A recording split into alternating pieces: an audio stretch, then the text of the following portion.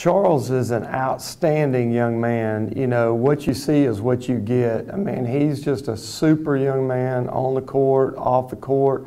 For him to transfer in from Murray State and in one year make an impact that he's made here in this program just speaks volumes of who he is, um, not just as a basketball player, but, you know, as a person. And um, again, um, he's a strong academic student, uh, going to graduate coming up next weekend, and um, a strong forward that's versatile, that can play inside, play outside, um, shoots the ball extremely well to be a big, strong forward, um, athletic. He's just going to really, we feel like he will, he will do well at Incarnate Word. We're excited about him um, signing to go into the Southland Conference.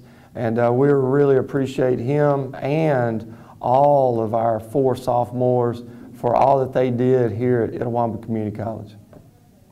Well, I would like to thank God for putting me in a position where I can go to the next level. I'd like to thank my parents uh, for all their support and my teammates and coaches for pushing me every day in practice. Uh, I couldn't be, I wouldn't be in this position without them. And it's a great feeling to know, you know, I have another chance to go D1.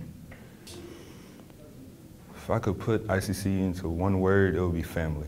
Um, they welcomed me with open arms here. I, I didn't know what to expect coming here at first, but I'm glad I came here. It's been a great experience. Uh, if I had another year, I would definitely come back.